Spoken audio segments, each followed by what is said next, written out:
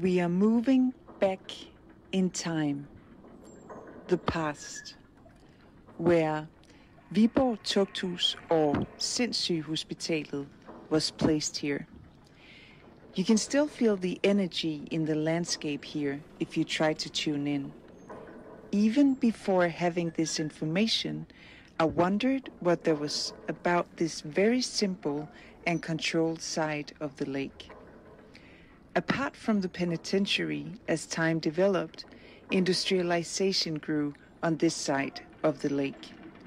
And also the discharge of the sewers that landed in the lake. But let me help you picture this landscape. Viborg Penitentiary was established by Mayor Dissel, who in 1736 proposed the establishment of a manufactory. The house served as a penitentiary, labor institution, and factory. Beggars, thieves, and murderers toiled all day by looms and spinning machines and spent the night in wretched bedrooms filled with vermin. It was also about getting the city going again, where much was still undeveloped after the Great Fire of 1726. It had first been planned to rebuild the fire damaged courthouse for the purpose, but they chose to build a new one on a plot down by the lake.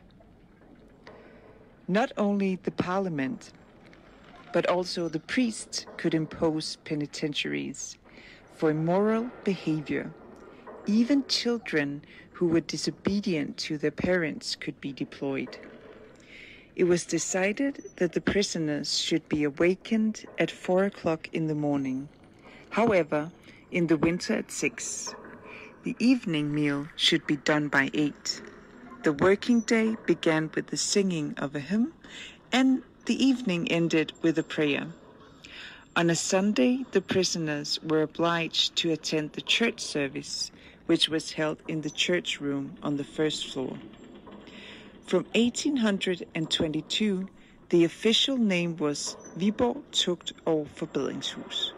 The number of prisoners increased at 406 prisoners in 1844. Thirty years later, in 53, the then more contemporary Horsens Tugthus was built as a replacement. And finally, in 1877, Viborg Tugthus was converted into a mental institution, or as you say, Sindssygehospitalet.